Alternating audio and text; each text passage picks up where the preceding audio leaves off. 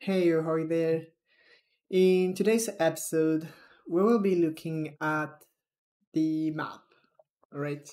Because we do have uh, a database to store routes and Pokemons, but at the moment we don't have anything that allows us to basically change which route we are in. So what we're gonna do is a very simple component that will allow us to change route. So at the moment, we're not going to use a map directly. We will just use simple buttons, a list of buttons. And that's what we're going to work with, right? So let's go to Godot right now. First, I want to check our user interface. Yeah, because we don't have a margin container. Um, no, a scroll container right there. So as you can see, we already have quite a lot of the screen, which is taken by those things. But if we do add things, it's gonna be out of the screen. Or we can actually get the routes on the side. So I'm gonna create a new vertical box, I think. So they will both overlap. This one's going to be on the top right corner, top left corner. It's going to be cool. Yeah, I actually wanted to take the entire screen like this. And what if I want it to be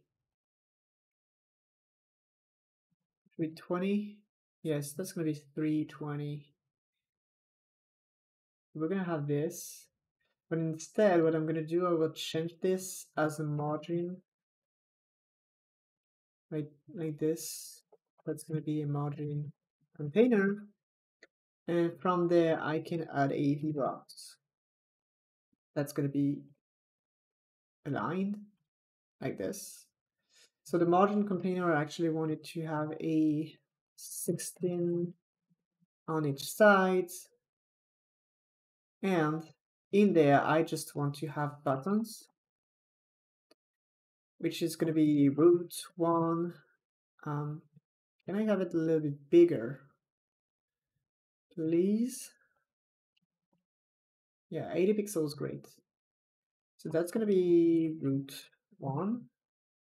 And our route two, route three. That's okay. Theme override. Let's have a separation of 16. I guess. So there we're going to have route 2 and route 3. Okay, so we have three buttons, which allows us to switch routes. So what I'm going to do is I will create a manager which will handle the routes uh, changing and stuff.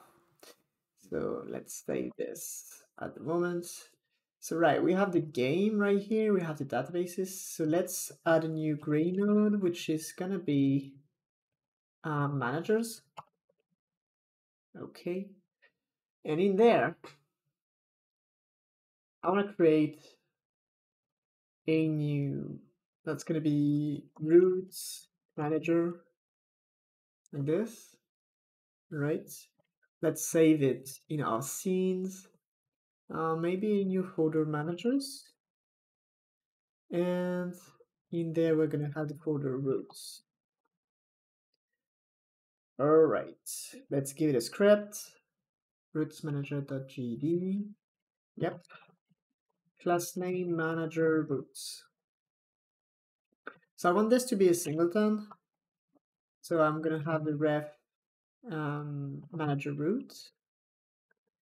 And as usual enter tree if mm, if ref well if ref I wanna free and whoa wait a second. Like this I want to free and return.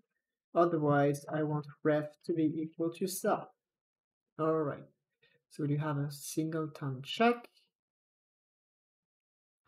From there, I will I will create a signal maybe. Um, yes, because the purpose of having managers doing things is to be able to have global signals, right? So here we're gonna declare a signal, which is a custom one. I don't think we ever did this in this series. Yep. So it's very simple. You just have the keyword signal and give it a name. Uh, so we're gonna have with um, location updated or route updated. I don't to only have routes, so let's go with route updated. We don't need to do anything really. We can add arguments to signals, but here I'm not going to have an argument right there. I will just create a method which is going to be uh, change route or update route so we are in line with um, the signal.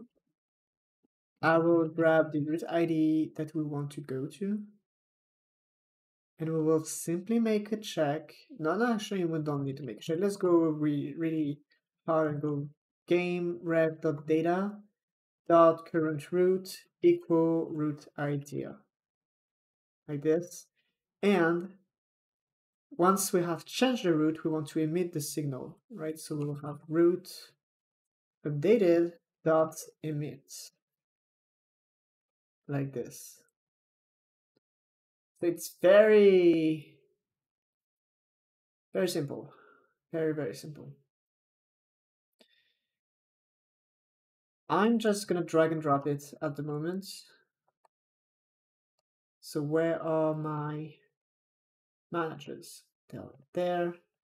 And I will have this, like this. So I do have my manager being created there. So what I will do is in my user interface, I will create a new script which is going to be built in, all right?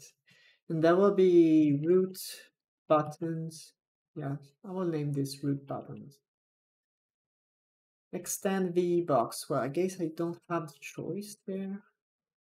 And what I will do is just um, grab the signals, actually, of those three buttons. So we will have this guy, this other guy, and the third one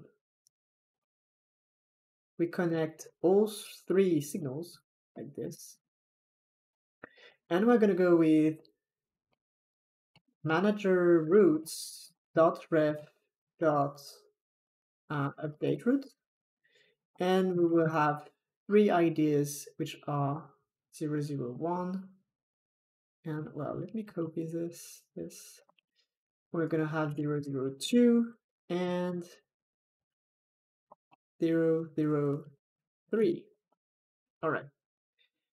Now that I'm making this, I realize we maybe want to make a check that um, if game.ref.data.current route is equal to route ID, I want to return, right? I don't want to change the route if we already are on this route. Like this. Okay. And now what I want to do is actually go in my main view here. And you see, we have the enter route and leave route thing. So what we will do is basically we need to plug um, the signal that we created on our state machine there. So maybe that we come through the idea of um, having this in the state manager. Do we want to have this in the state manager? Maybe yes. So what we want to do basically is grab the signal and connect it to whatever method that must um, be called on. So I will create a new method right away, which is going to be on route updated like this. And what I will do when the route is updated, I will change the state to uh, leave route like this. And it should actually be able to do all the process to go through leaving the route, generating the new table, and combat loop, right? So we created the method, right? But we didn't connect it. So to connect a method to a signal, so far we did it with the editor, which is very, it works very fine. But sometimes you need to connect it by the script.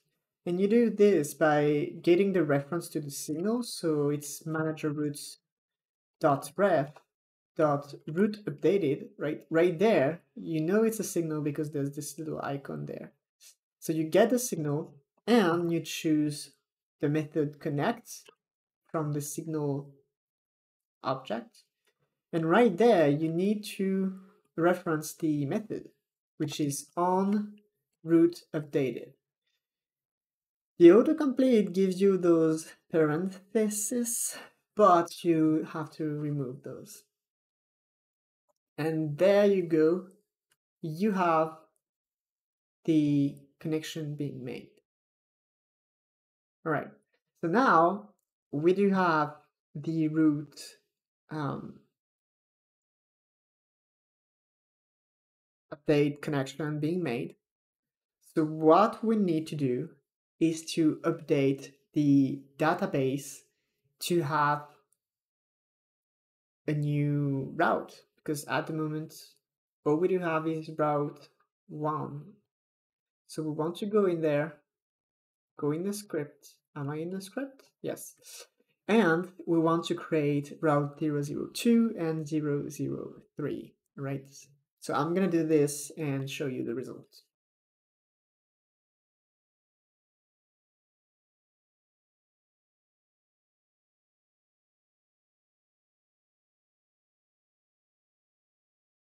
So before anything, uh, what I did is I added uh, two new Pokemons to the database, which are basically Charmander and Charmeleon, which were used to make these thumbnails really. Um, so now that we have new Pokemons, what I will do is right there, I will remove Mightyena from the route one, and I will create new routes